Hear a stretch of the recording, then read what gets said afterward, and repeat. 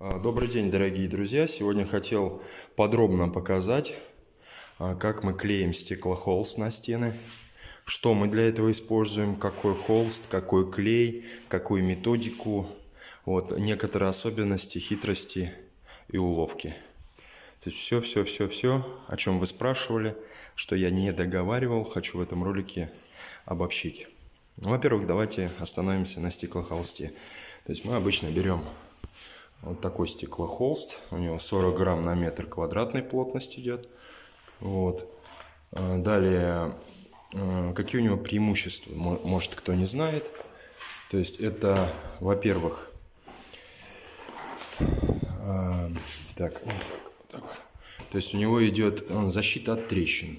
Первый показатель, второй экологичность, высокая прочность, стены дышат. Вот это главный показатель, потому что если клеить флизелин или еще другие материалы, то есть э, мы закупориваем стены. Здесь стены дышат. Экологичность, ну, все остальное не важно. То есть, вот. то есть наша основная задача это защитить стены от микротрещин. Как раз малярный, он, он защитит от микротрещин, от больших трещин не спасет. Мы должны это понимать. То есть, если дом дал усадку, стеклохол все равно треснет. Вот далее, что еще хотел сказать? Какой клей? Клей, а, многие спрашивали. Вот, я не хочу рекламировать. Я здесь покажу просто наглядно, какой мы используем. Вот, клей колорит фирмы Колорит. Почему именно он? Вот, у него хорошая консистенция. Обратите внимание, насколько он густой.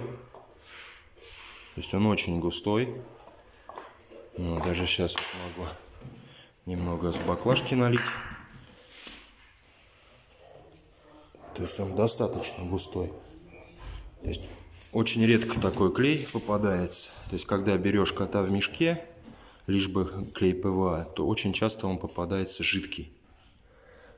Вот, поэтому лучше, если вы на- найдете такой хороший клей, лучше его всегда используйте. Вот густой клей хорошо забивает поры ПВА.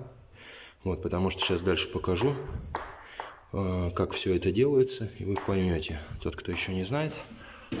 Вот. Далее наносим на стену клей. Мы Делаем это с помощью валика. Э, Наносим жирным слоем, не жалеем. Вот. Потому что все это потом нужно будет все равно пропитывать сам холст. Вот. Обратите внимание, насколько жирный. Сейчас покажу.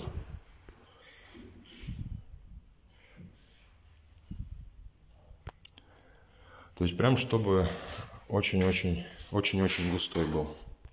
Вот, конечно, если клей густой, это удобно сделать, потому что если он жидкий, то такой слой не получается делать.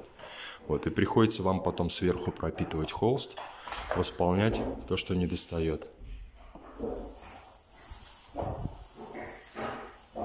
Вот. Наносим.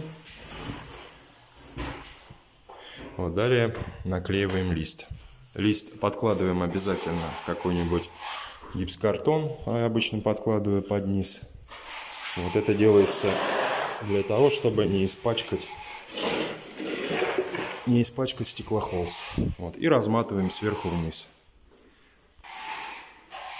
Все, зафиксировали полотно, подогнали по шву. Все, дальше выравниваем. Я выравниваю с помощью обычного шпателя. Вот. Можно резиновым, пластмассовым точнее. Вот. Так же, как обои. Начинаем. Да, начинаем от центра. Вот такие заломы, чтобы не было, отклеиваем. Вот, и натягиваем.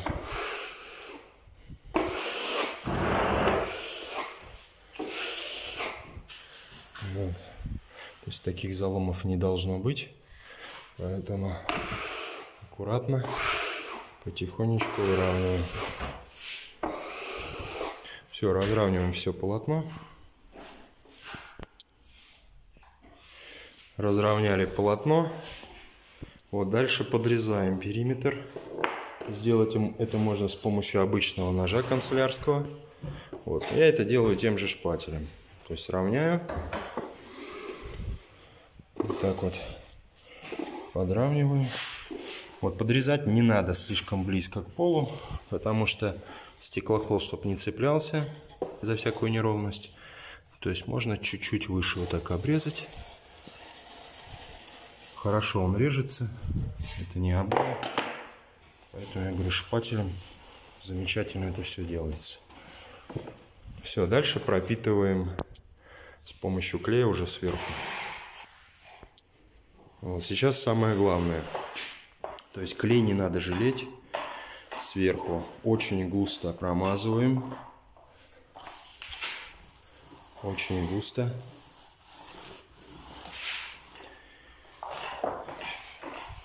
Вот, насколько, как узнать, насколько хорошо мы промазали, сейчас дальше скажу, какой должен быть ориентир.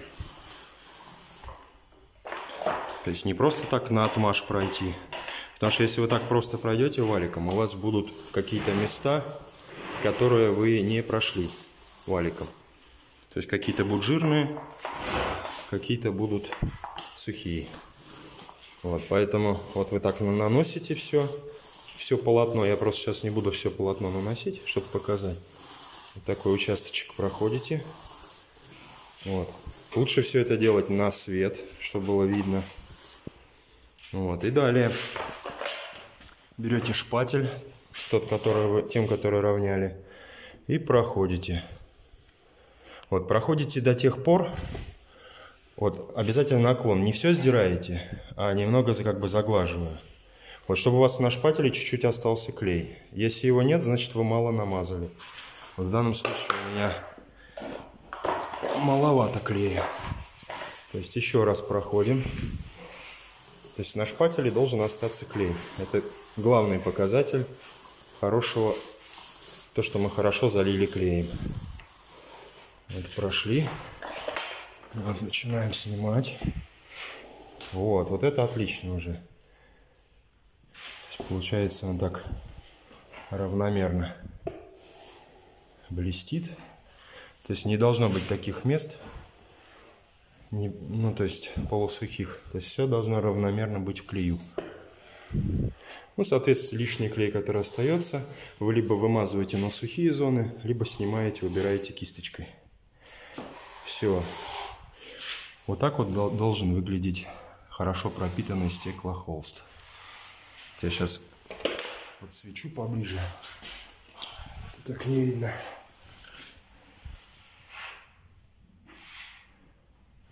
Мигает.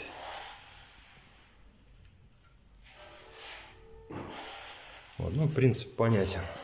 То есть это очень важно. Если так не сделать, то когда мы будем шпаклевать, у нас стеклохолст может пойти пузырями. Потом придется вырезать, делать дополнительно проклеивать участки. Вот иногда даже большие участки. Вот, потому что по цепной реакции может отслаиваться весь лист. Вот, чтобы этого не происходило, обязательно вот это вот делайте сразу. Вот, некоторые говорят, что на следующий день можно.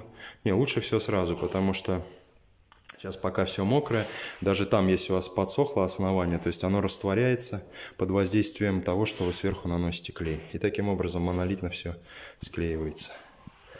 Вот, еще, другой, еще один момент. Обязательно, чтобы в помещении а, не было сквозняка, чтобы были обязательно окна закрыты, так же, как когда вы клеите обои. Вот. Э, потом нюансы относительно шпаклевки. В следующем видео вам расскажу. То есть уже что делать, чтобы дальше он не отслоился. Вот. Какой шпаклевкой лучше всего это делать. Вот. И по какой методике. То есть толстый слой, тонкий слой. Вот. Нужно ли грунтовать. Ну, то есть все нюансы вот эти уже в дальнейшем видео наглядно покажу. Вот. Какие-то вопросы остались, пишите в комментариях. На этом все. До новых встреч. Еще хотел немного добавить. А, во-первых, когда вы клеите стык из двух полотен, вот, нужно немного делать зазорчик маленький. То есть ни в коем случае, чтобы елочки не было. Пускай чуть-чуть не доходит, потому что если будет елочка, значит пузырь. В этом месте потом будет проблема при шпаклевке. То есть пол миллиметра делайте небольшой зазор. Стык очень тяжело клеить. Вот это не обои, помните, здесь, э, если даже какая-то маленькая будет небольшое углубление, то есть легко его будет зашпаклевать. И еще хотел обратить внимание, самое главное, о чем хотел сказать, для чего клеить стеклохолст, под какие основания. Не следует клеить под обои, потому что смысла нет. То есть это идет, самое главное, как армирование. То есть армирование, оно нужно, если мы не клеим обои. Потому что обои сами по себе, они скрывают трещины под собой, и нету смысла клеить стеклохолст. Вот. То есть стеклохолст клеим мы под покраску. Также стеклохолст, возможно, клеится под какие-то легкие декоративные штукатурки, такие как декоративные краски или легкая какая-нибудь венецианка.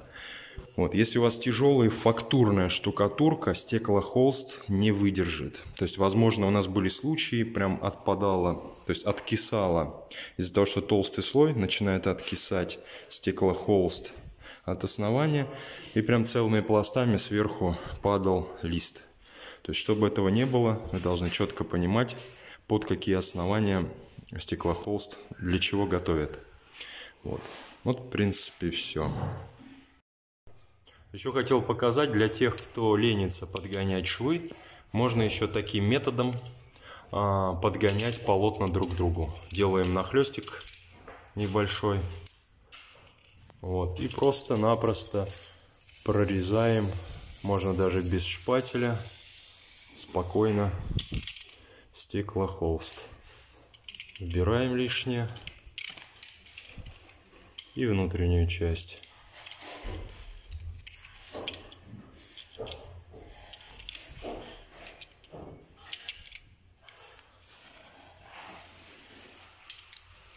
Все, получается идеальный шов. Можно и по такому варианту.